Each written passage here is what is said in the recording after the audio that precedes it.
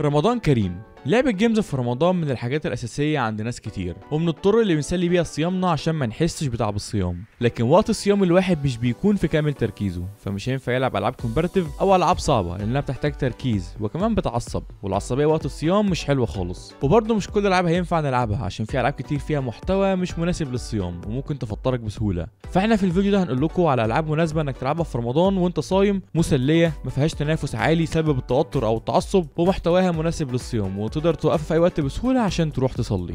هستغل إن لعبة World of Goo مجانية دلوقتي على Epic Games Store وهبدأ بيها القايمة. World of Goo لعبة ألغاز مسلية جدا وطويلة مش قصيرة خالص. حل الألغاز فيها بيعتمد على بنى طرق أو مباني أو كباري عن طريق كائنات الجو اللي بتلزق مع بعضها وبتتماسك عشان تكون حاجة زي أساس مباني عشان توصل لهدف معين. في كل لغز بيكون معاك عدد معين من كائنات الجو تحل بيها اللغز وعموما العدد ده بيكون كبير وعدد كافي إنك تحل اللغز بزيادة. فأنت تحاول تحل اللغز باستخدام أقل عدد منهم عشان أي جو زيادة هتاخده معاك تبني بيه tower وتنافس صحابك على مين يعمل أعلى tower فكل ما تلعب أكتر وتجمع كائنات جو أكتر هتقدر تعمل tower أعلى وتنافس صحابك. اللعبة موجودة على Steam ب 10 دولار وده يعتبر غالي جدا لأنها أصلا مجانية لحد يوم 16 مايو على Epic Games Store وكمان سعرها على موبايل 35 جنيه. من الألعاب الهادية جدا والمسلية جدا واللي في نفس الوقت بتحتاج بعض من الذكاء والتنظيم. بتعمل فيها ecosystem خاص بيك عن طريق مزارع معينة إذا كانت فواكه أو خضار أو فراخ.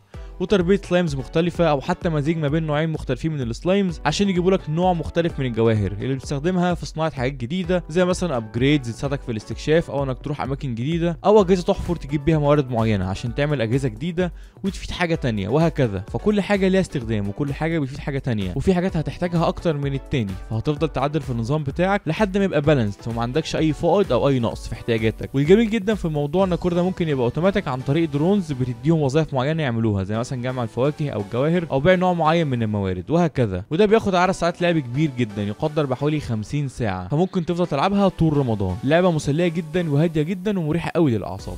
اللعب مع الصحاب دايما حاجة مسلية لكن في ألعاب كتير ممكن تخليك تشتم صحابك وتفطر عليهم بسهولة. عشان كده هرشح لكم لعبة UNO بتاعت Ubisoft على الرغم إن صحابك فيها ممكن يعملوا حاجات برضه تخليك تفطر عليهم وتشتمهم ده غير إن اللعبة فيها بعض القوانين الزيادة وبعض الإضافات الغريبة والتعديلات اللي بتزود الحركات اللي مش لطيفة اللي ممكن الصحاب يعملوها في بعضهم لكن على الأقل هيبقى الموضوع ضحك وهزار ومش هتوصل لانك تفطر عليه. فهتقضي ساعات من الضحك والهزار مع اصحابك ده غير إنها فرصة كويسة إنك تتكلم معاهم في قضايا فلسفية لأن اللعبة مش بتحتاج تركيز كامل فهي وسيلة جميلة تقضي بيها وقت لطيف مع أصحابك قبل الفطار.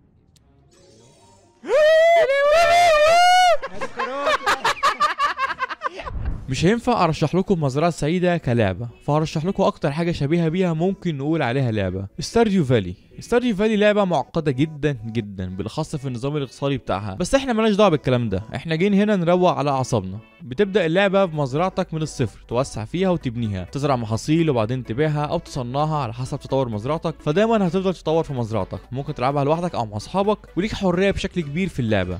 فممكن أصلا ما تعملش المزرعة وتروح تستكشف وتعمل مغامرات في العالم بتاع اللعبة. ممكن تنزل كهف وتقعد تجمع معادن وتعمل ابجريدز لمعدات التعدين بتاعتك تسيب المزرعة وتقعد تعدن. ممكن تقاتل وحوش وتقوي دروعك وأسلحتك وتبقى محارب وتسيب المزرعة والتعدين وتقعد تحارب. ممكن تبقى تاجر ومتابع الاقتصاد وإمتى تشتري وإمتى تبيع وتبقى تاجر. وممكن طبعا تبقى مزارع اللي انت عايزه على حسب انت ناوي تعمل إيه بالأرض بتاعتك. أو ممكن تبقى كل حاجة شوية من ده على شوية من ده. اللعبة ممكن يكون فيها تحدي في بعض الحاجات أو صعوبة شديدة في بعض الحاجات التانية لكن على الأقل كل حاجة فيها اختيارية فانت بسهولة ممكن تختار انك تعيش حياة جميلة جدا وهادية تكبر فيها مزرعتك تحضر فيها إيفنتات اجتماعية جميلة وتصاحب الناس في المدينة وتروح تصطاد سمك كهواية مسلية. فهي من لعبه مسلية جدا في رمضان. مين قال إن النجاة متعبة وصعبة مثيرة للتوتر؟ أسترونير لعبة بتحكي عن النجاة في الفضاء على كواكب غريبة لكن النجاة فيها حاجة مسلية جدا وممتعة. فاللعبة بتعتمد على الاستكشاف بشكل أكبر من النجاه وفيها كواكب كتيرة جدا ممكن نستكشفها وكواكب منوعة بتخلي الاستكشاف أمر مسلي. في بعض الاخطار في العالم لكن الكواكب جميلة أكتر ما هي خطيرة. بيبقى لازم تجمع طاقة للبدلة الفضائية بتاعتك عشان تعيش وأكسجين طبعا عشان تتنفس لكن ده مش تحدي صعب.